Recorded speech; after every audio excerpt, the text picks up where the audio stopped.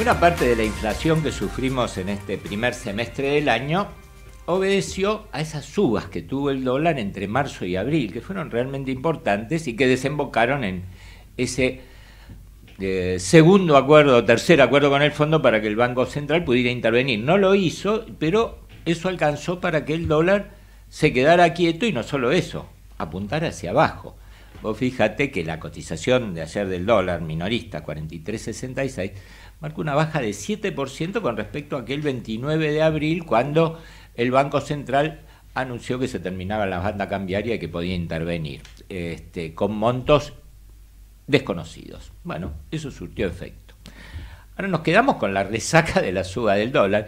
Y vos fijate, Hugo, la semana pasada se conoció el índice mayorista de mayo, que recogió la suba de abril, arriba del 4%, cuando el gobierno está apostando a una inflación que esté con un número 2 adelante. ¿Qué quiero decir con esto? Cuando sube el dólar, los precios se ajustan al dólar, cuando baja, se quedan donde están.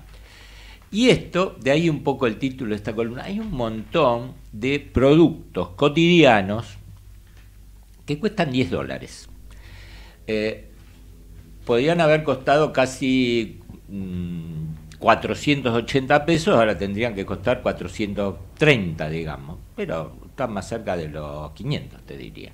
Te voy a poner algunos ejemplos. Todo por 10 dólares. Todo por 10 dólares. ¿Qué te puede costar 10 dólares? Ah, en, trazo grueso, alguno me va a decir, no, yo lo pago. Una docena de empanadas, por ejemplo. Eh, una pizza grande de mozzarella, sin, muchos chiches. Ah. Este, un kilo de helado, precio histórico. Siempre vos, fíjate que el dólar siempre está, el helado siempre está, pese a algunos altibajos, alrededor de 10 dólares el kilo un bife de chorizo en un restaurante, no de alta categoría, este, un almuerzo o una cena básica, no hablemos del menú ejecutivo que están menos. ¿Es mucho o es poco? Para un turista extranjero, 10 dólares es negocio. Uno nunca deja de trabajar, aun cuando está de vacaciones, cuando es periodista. Yo qué sé, eh, en Bariloche, vos veías turistas brasileños devorar bife de chorizo, cordero, como si fuera baratísimo, y eso que ellos tuvieron su propia devaluación este año. El problema es que los argentinos no ganamos en dólares, sino eh, habría precios este, muy acomodados, incluso no, no son productos, servicios. Un taxi, no sé, de caballito Aeroparque cuesta 400 pesos, 450. 10 dólares. 10 dólares también.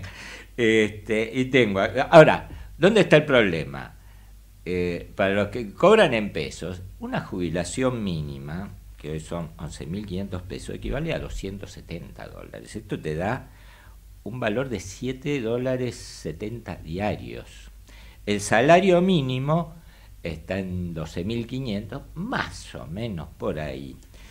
Y la verdad que eh, hoy, así como te acordás los todos por dos pesos de la época del 90, cuando estaba la convertibilidad que equivalían a 2 dólares, y hoy equivalen a los 100 pesos, que son un poquito más de 2 dólares, eh, 2,29. Eh, eh, y la verdad que estamos siempre girando alrededor. El problema es que el ingreso de los argentinos se cae frente a una inflación que con suerte este año podría eh, cerrar alrededor del 40% y el año pasado tuvimos 50%. La verdad que eh, ningún ingreso, me atrevería a decir, estuvo a la par de eso. Así que, ojo, porque, bueno, da la impresión, hoy creo que vos lo comentabas con Jorge Rusteler temprano, que parece que vinieron una onda de atrás a cambiario, por lo menos hasta las pasos o hasta las elecciones, ya veremos. Pero la verdad que lo que conviene eh, eh, es tener un plan contra la inflación y no solo apelar o al dólar o a las tasas, porque el resultado termina siendo el mismo. Lo dejamos acá, si te parece.